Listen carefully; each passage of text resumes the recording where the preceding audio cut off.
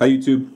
Um, look, bear with me please as I uh, go through this video. Um, but uh, there's a few things I absolutely need to address. Uh, certainly some of the comments in my last video. Um, if I were to use a word, it would be overwhelmed. Let me just um, let me just go through this, okay? So one of the big questions was, are you still going to be buying metals? And it's funny because uh, you know I've seen a couple people say this is the bottom for silver. I'm like, really?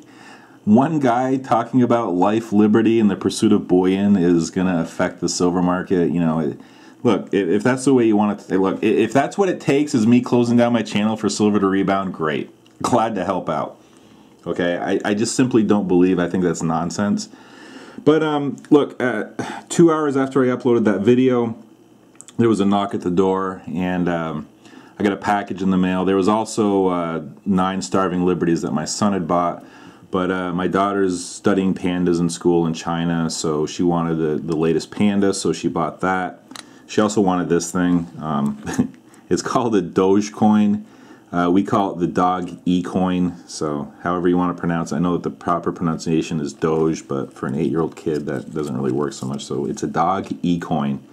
So that's the, the round there. Uh, look, the kid has a weird taste. What can I tell you? She likes dogs. Um, I like to. I wanted to keep my um, one tenth ounce lunar collection going, so I bought the, the this year's goat, and um, so just to give you a quick backstory, I was going to do a video on this and never got to it. Um, so when my wife was pregnant for my son, we lived in a tiny one bedroom apartment, and uh, you know she had said I really want to start a savings plan for our kids or for our kid, right? Um, and uh, yeah, sure. Sounds great. We should do that. Meanwhile, we're we're saddled with uh, her student loan bills. Uh, we were paying off our our uh, wedding. We had some other bills too, and we just simply didn't make a lot of money. Okay, and we also needed a new home, so uh, we bought a we bought a place that was a bit of a fixer upper.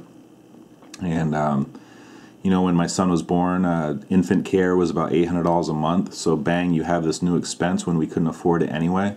Uh, you have to pay for an increase in health insurance, um, certainly formula, um, uh, Pampers, and doctor visits, and everything else that comes with having a kid. And of course, we had to start uh, fixing up our condo, which we did year by year. So the savings plan never occurred. Well, a few years later, just as we're kind of starting to hit our stride a little bit, my daughter comes along. and so now, once again, we have another $800 a month. Plus, my son was still in preschool, so my my um, my daycare expense was enormous. Uh, my health insurance premiums were getting really big. Um, my my grocery budgets were expanding. So the uh, never started started the savings plan. Then 2008 happened, and we all took a beating. Certainly didn't start the savings plan then. So here we are and I got a 12 year old kid, almost 13 years old, and I still didn't start the savings plan.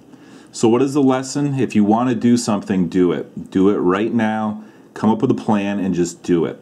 Because believe me, an incredible amount of time will go by. It'll slip through your fingers, and you will still have done nothing. Okay? So, you want to talk about a regret? That's one of my big regrets. Um, can't really do much about it. All I can do is uh, keep moving forward. So once a year, we do a um, we do a treasure hunt for the kids at Easter. Okay, so uh, you know we do the normal jelly beans and eggs and everything else, and then there's one final egg that has a clue to a treasure hunt, and uh, each kid then goes all over the house and yard, going egg to egg, and at the very end is a um, is a treasure chest, and it usually has a silver coin in it. Well, this year we decided to start that savings plan. Um, the plan is for the next 10 years to buy each kid an ounce of gold. Um, I certainly prefer this year the kangaroo because it has the purity of a maple, it's encapsulated, and it's actually cheaper than the eagle or maple. So uh, I love this year's design. I love the full moon in the background. I, I really, really love this coin, and I think the kids are going to go out of their minds for it. So um, the plan this year was to start their savings plan and can I go through with it for 10 years? I really don't know. I have no idea what my finances are going to look like. I'm going to try, and uh, that's that's all I can really do. But I'd like to buy them each an ounce of gold per year and uh, put that towards their future. And uh, so that's the plan anyway. So to answer your questions, am I still buying metals? The answer is a resounding yes. It, it, was really weird getting this box in and not being able to share it because every time I got a box in for three years, I rushed to grab my video camera. And people knock the unboxings, but it's just simply a way to say hi and uh, this is what I bought and and share it with you guys. And and you know there was a void there. I'll, I'll be honest. It definitely felt odd to say the least. Okay. So to answer your question, yes, I'm still buying metals. Um, they helped. They helped me turn things around. Okay. They basically taught me how to budget and save. They taught me to how how to uh, take a hard look at my discretionary spending. And all the stuff that I've talked about for the past three years or so uh, stands true more now today than ever. Okay, I'm, I'm, I'm really happy with what I've accomplished, and I'm going to keep pushing forward because if I can do this in three short years, what can I do in the next three? Is kind of how I'm looking at it. So, yes, metals are going to be a part of that. I was going to do a video uh, called uh, Silver and Gold Never All Out, Never All In.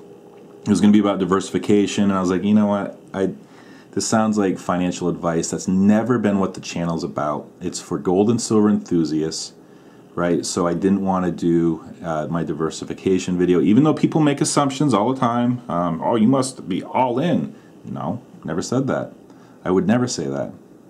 Okay, I believe in diversification. I believe in diversification within your stack. I believe in diversification outside of your stack. Period. I mean, I don't know another way to say it. So, if me leaving YouTube is a bottom for silver, great. And then silver's bottomed. I will certainly be a beneficiary myself. Okay? Um, you guys do what you want to do. Um, the other thing is, let me just say, uh, you know, I um, I always feel, I always wonder if I'm emotionally detached sometimes. You know, um, I'm not one to uh, you know well up during a movie. I'll just watch the movie, and, and when somebody else is, I kind of chuckle at them. You know, what are you doing, crying over Lassie, or whatever? Um,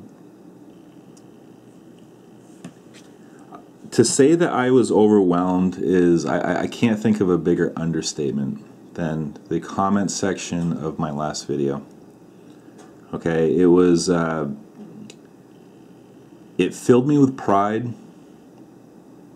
and it was uh, it was it was very difficult to uh, to read it all. And I wanted to make sure that I read every comment. I want to make sure that I replied to every comment um, because it was just uh, it was sensational. And I don't know I, I really I'm, I'm struggling for the proper words so that you guys can know how much it meant because um, and, and I'm struggling. I, but I, I, hope you recognize it. That the, um, you know, let me put it this way. Um, you know, I did a video, uh, uh, I don't know, a couple weeks ago, uh, Feel the Real, when I, when I kind of, um,